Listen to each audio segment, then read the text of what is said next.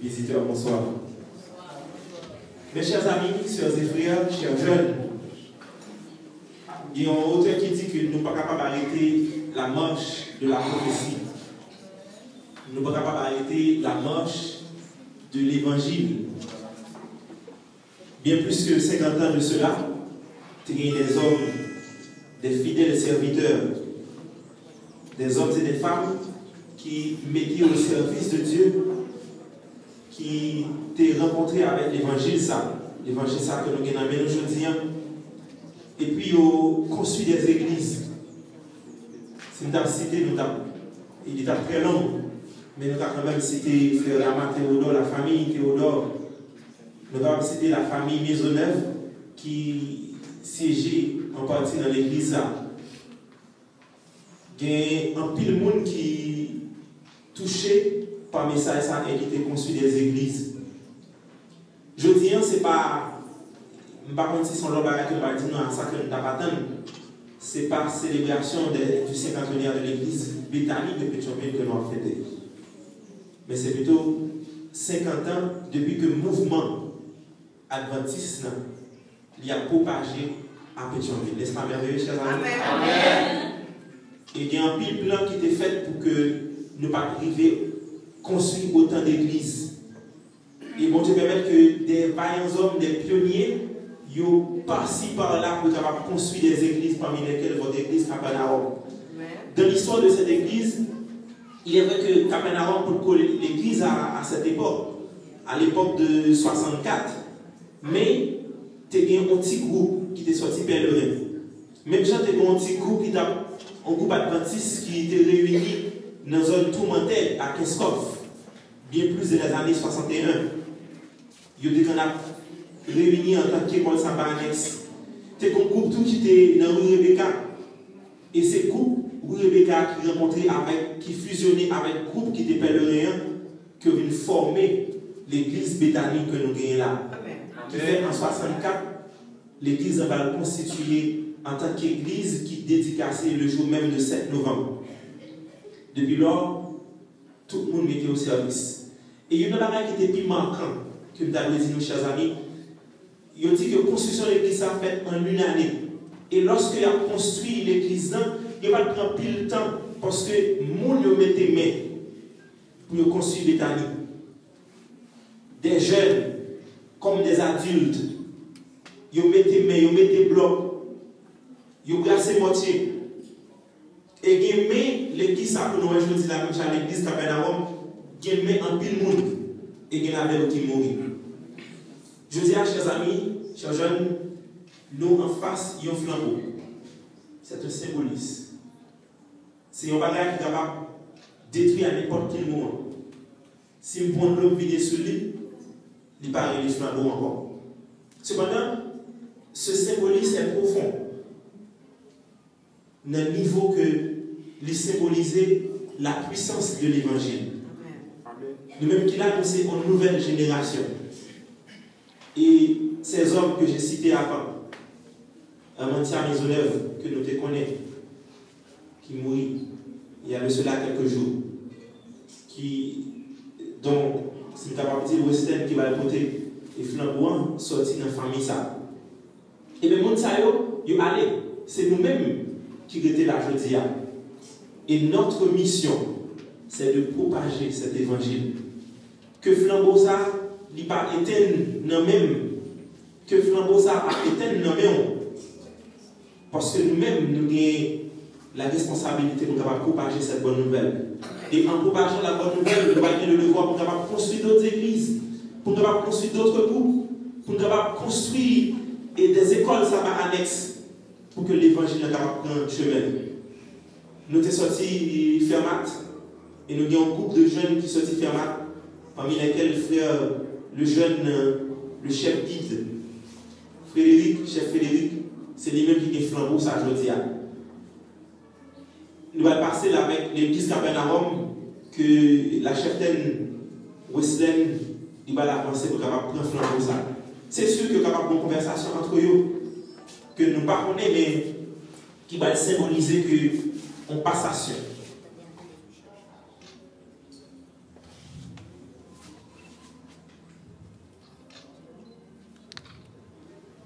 En tout cas, je vous invite à, à ce chant.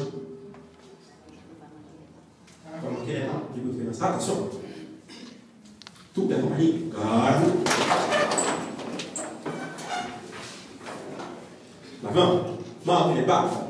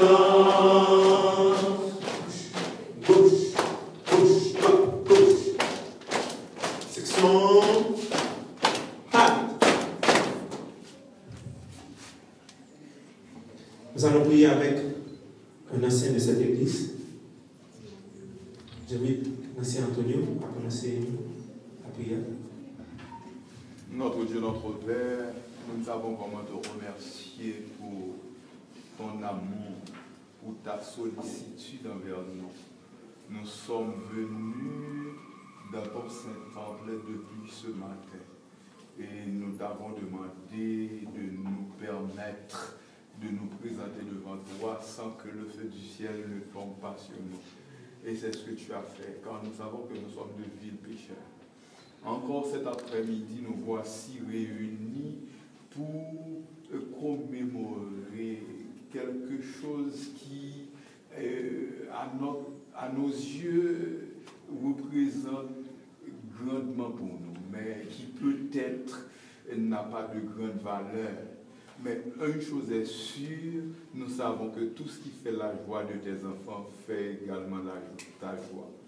Dès dans ton amour infini, nous pardonner de toutes les erreurs que nous avons commises et de prendre place parmi nous. Bénis l'œuvre à Pétionville. Ça fait déjà 50 ans que l'œuvre est entrée à Pétionville. Ne permet pas que ce soit la fin de l'œuvre, mais que ce soit et, quand Jésus revient, l'œuvre s'achèvera, mais nous autres, nous serons toujours prêts pour proclamer ton évangile. Sois avec nous, le flambeau est ici à Capernaum et il vient de Fermat, mais nous savons que nous sommes vraiment des flambeaux. Chacun de nous est un flambeau. Permets que nous brillions parmi le monde, que nous brillions pour toi, au nom de Jésus. Amen.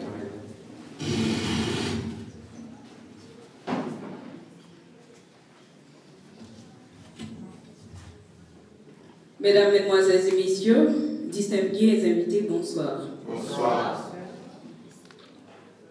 L'idée d'avoir une église ou un lieu d'adoration à Pèlerin 5 était un sujet tabou pour plus d'un. Encore moins une église adventiste. Donc, dans les quelques minutes qui suivent, je vais vous conter l'histoire de l'église adventiste Capernaum de Pèlerin 5. Ce fut un soir qui apparemment n'avait rien de spécial. Tout à coup, quelque chose de spécial se produisit. La servante du Seigneur, la sœur Mireille Paul, fit un songe. Ce dernier était incompréhensible, car beaucoup de choses restaient superflues. Voyant qu'elle était appelée à se faire disciple de Jésus, Après maintes réflexions, elle décida de se faire baptiser comme membre adventiste du septième jour de l'église Hébron, si aujourd'hui à Delma 33. Aidée par la, sœur Thérèse Poulor, malheureusement qui est décédée, notre bien-aimée sœur Mireille continuait à persévérer à Delma 33, soit à Hébron. Voyant la casse-tête que se faisaient les membres de Pèlerin 5 pour aller à l'église, l'église Hébron décida d'instaurer un groupe à Pèlerin 5. Ce fut le mercredi 4 mai 1983. Mercredi 4 mai 1983, que la première réunion de prière eut lieu à 5, présidée par le frère et pasteur Daphnis Louverture chez la sœur Mireille Paul. C'était tout un début, mais on ne s'est pas contenté de cela, c'est-à-dire juste des réunions de prière. Et le samedi 7 mai 1983, pour la première fois, on présenta un culte d'adoration à Dieu à Pèlerin 5 qui a eu lieu chez la sœur Mireille Paul. Le sermon de ce jour reste encore indélébile dans les mémoires de ceux qui étaient présents ce jour-là. Et ce sermon fut donné par le frère Pierre Lamérique. Luttant pieds et mains pour garder ce groupe en vie, l'église Hébron se donnait beaucoup de mal. Puis, sans même y penser, quelque chose d'inhabituel se produisit. L'église adventiste Béthanie de Pétionville trouvait que ce n'était pas à Hébron de s'attribuer le rôle de veiller et sur ce groupe qui se trouvait sur le territoire de son district, soit à Pétionville. Ne voulant pas abandonner son nourrisson, l'église Hébron voulait à tout prix que ce groupe soit sous sa responsabilité. Hum, quel malentendu. Mais heureusement, après maintes réunions, on décida en 1984 de confier à Bethany de Pétionville la tutelle de ce groupe. Étant donné qu'à cette époque, il y avait les membres de la famille Maisonneuve et de la famille des Ravines qui adoraient à Bethany de Pétionville, il leur fut demandé de consolider avec les membres de Pèlerin 5 dans le but d'augmenter le nombre de bras à Pèlerin 5.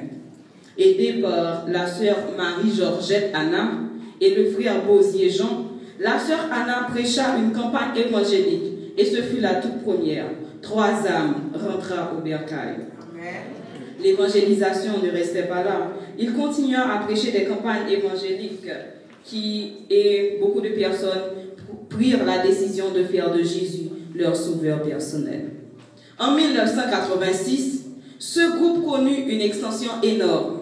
Toujours chez la sœur Mireille Paul, le feu frère Exil Eximon fut le conférencier d'une campagne évangélique qui a frappé la citadelle de l'ennemi et 26 âmes sincères prirent la décision de se faire baptiser.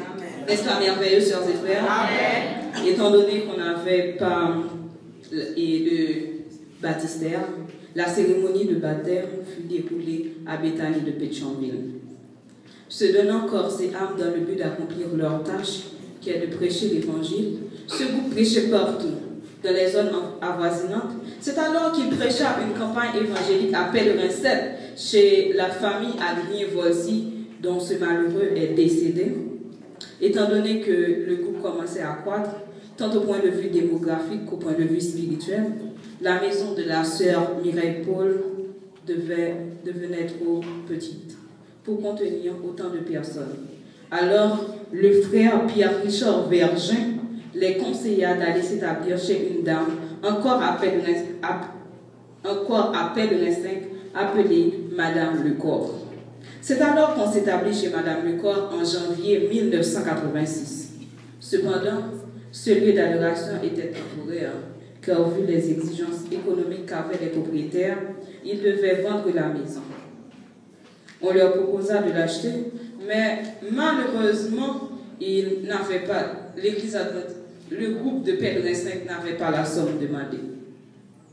Vu les circonstances, ils ne pouvaient pas rester. Ils décidèrent de partir en décembre de 1986. Parallèlement, étant chez Madame Lecor, ils projetaient d'organiser une école de sabbat à Santo, la boule 10. On fit les élections pour la nouvelle année en décembre 1986 et on profita de l'occasion pour nommer les dirigeants tant pour Pèlerin et pour Santon. On nomma le frère Jean Bosier comme premier ancien à Pèlerin 5 et le frère Astrel de la ville comme premier ancien à 100 ans. Cependant, la question qui restait sans réponse était où est-ce qu'on adorerait étant donné qu'on devait vider les lieux? Hmm. Devait-on retourner chez la sœur Mireille Paul ou devrait-on regarder ailleurs? C'est alors que la sœur Marie-Thérèse Boulard décida de vendre sa maison à l'église comme lieu d'adoration. Et c'est là que vous vous asseyez en ce moment. Les frais d'achat furent un peu exorbitants, mais comme, disent, comme dit le proverbe, mais en pays Chaipalou, les membres de l'église ont décidé de mettre ensemble pour payer ce lieu d'adoration. Ce fut un nouveau départ.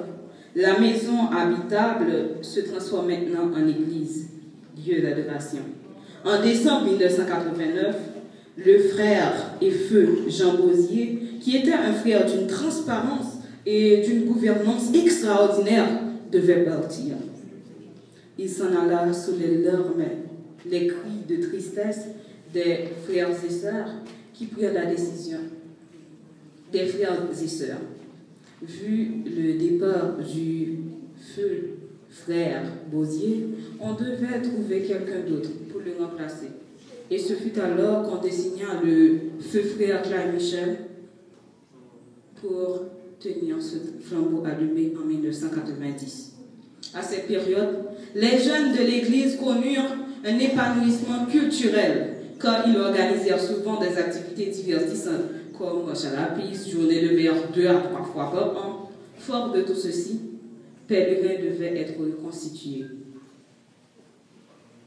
Les membres de pèlerins s'unissaient en vue de construire cet édifice.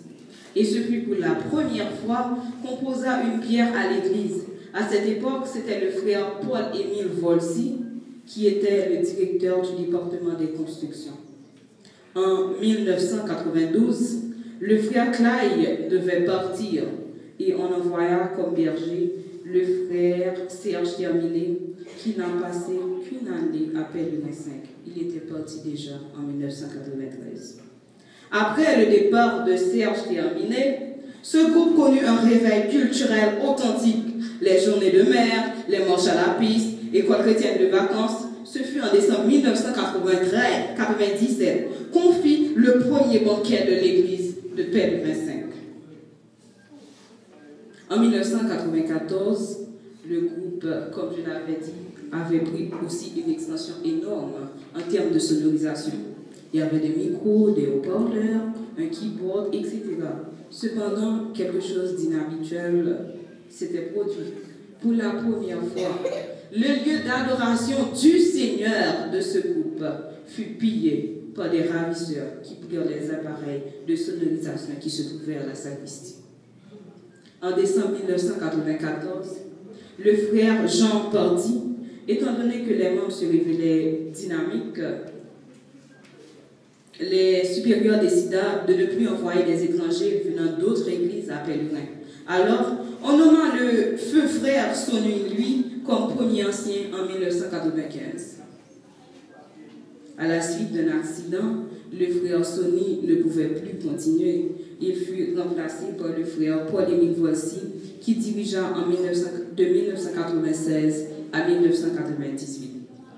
Pendant cette période, les dirigeants amenaient, comme jadis, les nouveaux baptisés des campagnes évangéliques prémices à des lieux de rencontre annuels organisés par la Mission du Sud, qui comprenait Mission du Sud et Mission centrale à cette époque, en vue de lier connaissance avec leur nouveau monde, ensuite et en évangélisant les non-chrétiens sur le site de rencontre qu'on appelle, c'est aujourd'hui Marais.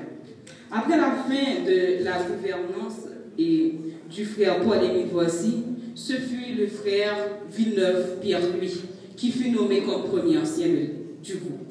Voyant le dynamisme des membres et leur façon de faire, on jugea qu'il serait préférable qu'on change le groupe de statut. Le groupe qui avait débuté avec une dizaine de personnes devenait maintenant Église. Après mes réflexions, mes critiques, on décida de l'appeler Capernaum. Oui, Capernaum, parce que c'était un lieu de tranquillité. Regardez le paysage, un lieu paisible.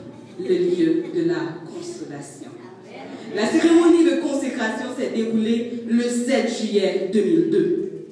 À cette cérémonie étaient présents quelques supérieurs hiérarchiques de la mission centrale et le pasteur du district de Pétionville, de grands notables de la région.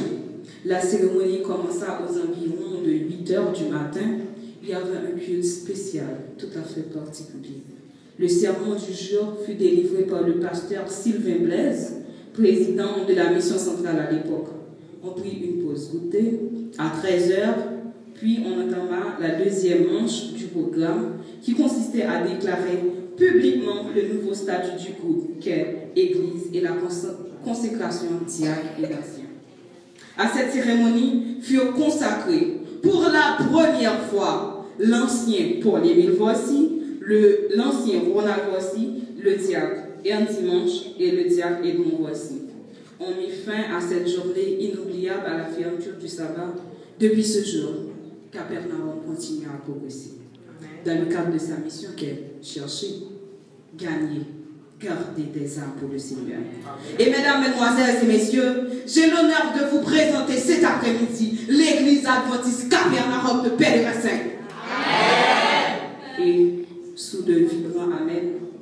je vous demande d'accueillir le premier ancien, l'ancien ancien et l'actuel premier ancien de l'église qui est le frère Paul-Émile Voici. Et malheureusement, il est dans la sacristie.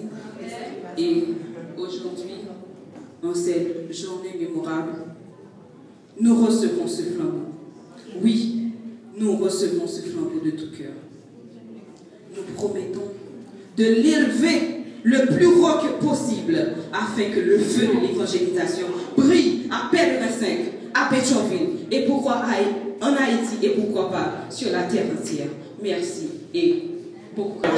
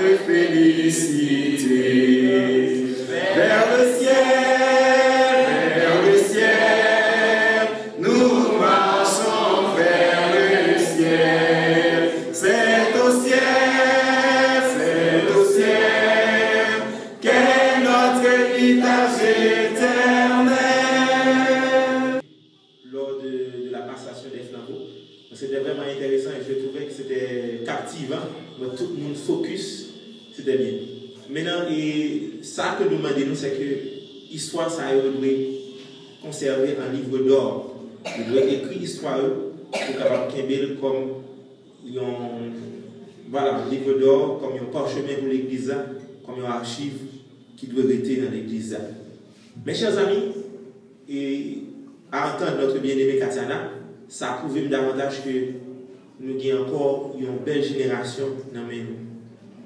Pour Capernaum en particulier, un pile jeune qui a. C'est une opportunité que nous avons pour nous d'assister avec passation de flambeau. Ça. Si vous lisez la vous allez voir que Abraham, il passe ses flambeaux à Isaac. Il le bénit. Et il dit, il dit Isaac, quel bel héritage pour mes pour moi. Isaac, avant sa mort, 12 petits ils ont rassemblé et puis il, dit, il bénit. Il dit, aucun lignée pour moi parce que Messie a sorti dans nous. Moïse fait même bagarre, il dit, Josué, bel livre la loi. Bel livre la loi parce que Messie a sorti là. Il a une lignée. Et c'est comme ça un mouvement qui traversé. C'est-à-dire le christianisme, c'est un mouvement de relais. C'est un mouvement de passation. Et nous-mêmes qui là, c'est parce que nous recevons héritage ça, ce flambeau qui symbolise la parole de Dieu, ce flambeau qui symbolise l'évangélisation, la proclamation de la parole de Dieu. Donc nous avons cette mission, chers amis. Et c'est une des raisons qui fait, et le terme que nous avons choisi, hein, que nous dit, c'est 50 ans, virgule. Ebenezer, virgule. Marchons vers la maison du Père. 50 ans, Ebenezer, marchons vers la